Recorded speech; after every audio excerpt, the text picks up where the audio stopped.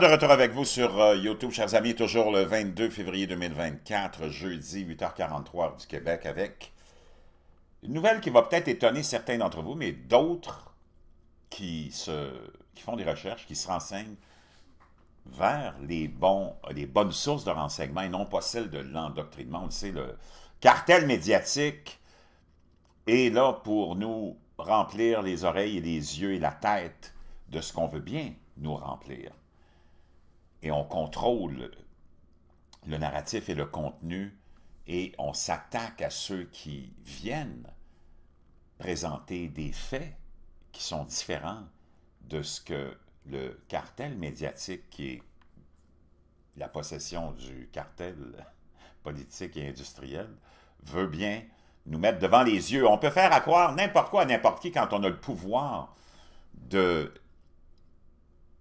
de la force indéniable des médias de masse. Mais la réalité est tout autre, par exemple, sur le terrain en Ukraine.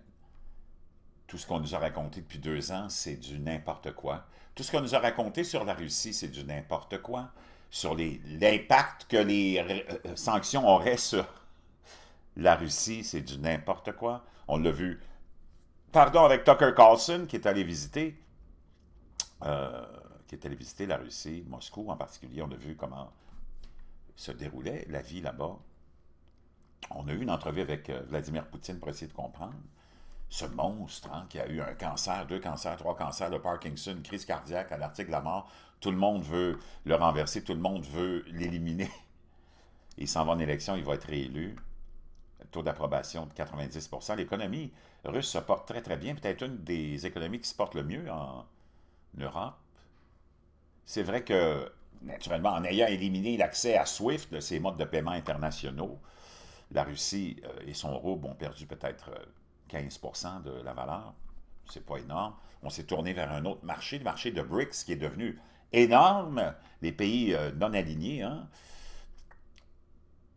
et a trouvé un marché incroyable pour ses ressources naturelles, a trouvé aussi le moyen de contourner toutes les sanctions euh, qui lui interdisait d'avoir accès, par exemple, à toutes les micropuces américaines et tout ça, a trouvé d'autres façons de s'en acheter. Et euh, finalement, la situation... C'est un pays de 140 millions d'habitants avec un complexe militaire euh, technologique assez puissant, quand même, de niveau des trois plus grands, probablement, complexes militaro-industriels. On a envoyé des centaines de millions, voire des dizaines de milliards de dollars en Ukraine, cet argent-là fondu comme neige au soleil. On est toujours en train d'essayer d'en envoyer plus, d'envoyer plus d'armes.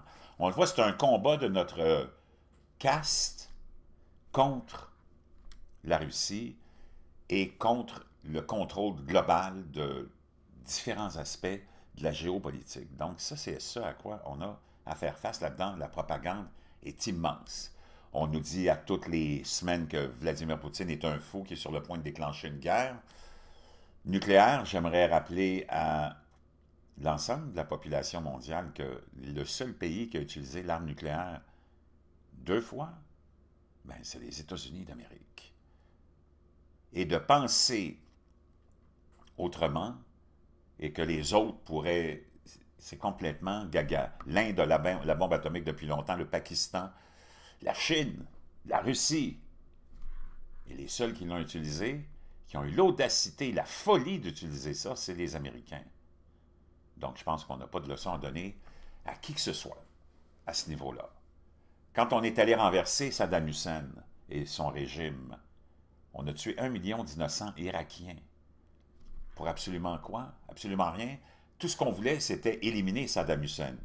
C'est rien d'autre. C'était ça le but ultime. Après, quand on est arrivé dans la deuxième phase de cette invasion de l'Irak. Il y a eu la première avec le père, la deuxième avec le fils. Tout ce qu'on voulait, c'était trouver Saddam Hussein. Pour quelle raison? Je ne sais pas, il y avait des choses à raconter. Peut-être que j'ai aucune idée, mais on a éliminé Saddam Hussein, puis c'en était fini. Puis on a tué au passage des centaines de milliers d'enfants, femmes et euh, personnes euh, âgées. Les conséquences des bombardements, on a envoyé plein de déchets nucléaires. Peut-être que c'était une des raisons, un des buts de ça. Hein? Toutes les ogives qu'on a envoyées par milliers qui étaient remplies de déchets nucléaires ont contaminé les eaux de l'Irak, les, euh, les sources d'eau, les nappes souterraines, Les conséquences ont été atroces, des naissances, malformations de naissance pendant des décennies, pour arriver à un total d'un million d'Irakiens décédés de ces conséquences de ces deux guerres du Golfe. Tout ça pour avoir déstabilisé toute une région pour un seul homme.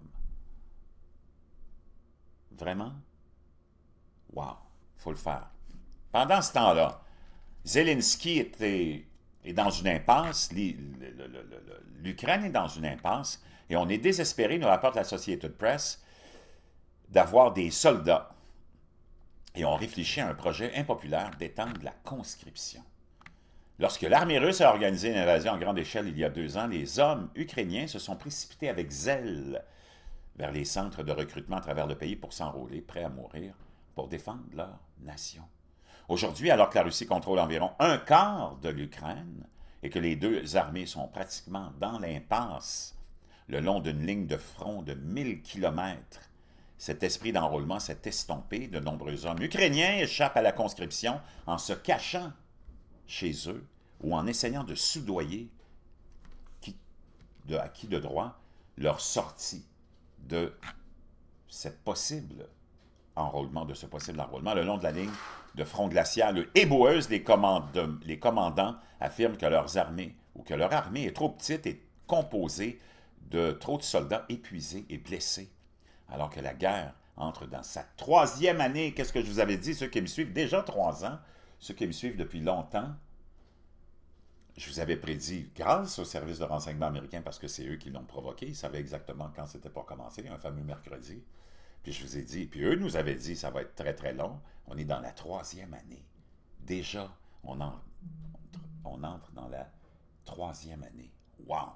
Le défi le plus urgent et le plus sensible qui se pose à l'Ukraine est de savoir si elle peut rassembler suffisamment de nouveaux soldats pour repousser un ennemi disposant de bien plus de combattants. C'est certain que 140 millions contre 40 millions, je ne sais pas qui a pensé, même un instant, que cela, pouvait se terminer autrement.